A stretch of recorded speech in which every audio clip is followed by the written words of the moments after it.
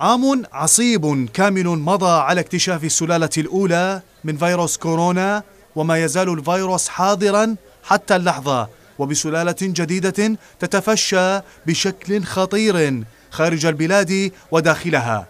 أعداد الإصابات لا زالت في تزايد رغم فرض إجراءات غلق جديدة.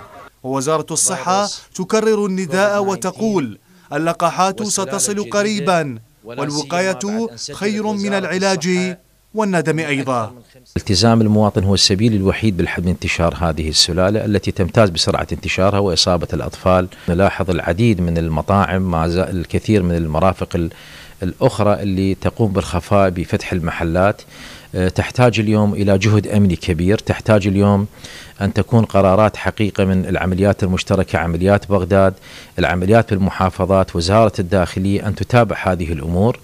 لا زلنا نلاحظ بعض المدارس غلسة أيضا تقوم ولا سيما المدارس الأهلية بدوام الطلبة وهذا يشكل حقيقة خطر كبير على نسبة الإصابات.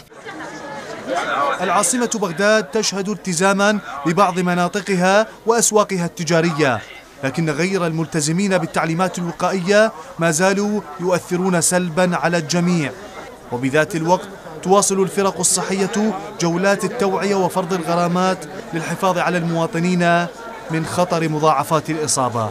التباعد ما موجود لكن على الأقل أنه ارتداء الكمامة والتعقيم. في هذا الشارع الالتزام غير غير جيد. آه، نأمل من المواطنين سواء أصحاب المحلات أو الزبائن الالتزام بإجراءات الوقاية من هذا المرض. كلما زاد الالتزام آه، اكيدا انه اللجنة العليا للصحة والسلامه الوطنية لا تفكر بحظر تجوال. لكن إذا كان هناك عدم التزام وارتفاع باعداد آه، الإصابات اكيدا قد يكون فرض حظر شامل. عدم الالتزام المتكرر وارتفاع الإصابات المستمر فيما مر من أسبوعي الحظر الجزئي. سيكون حسب المؤسسات الصحية العنصر الأساس في اتخاذ إجراءات غلق قد تكون شاملة في الفترة المقبلة. ياسر عامر العراقي الإخبارية بغداد.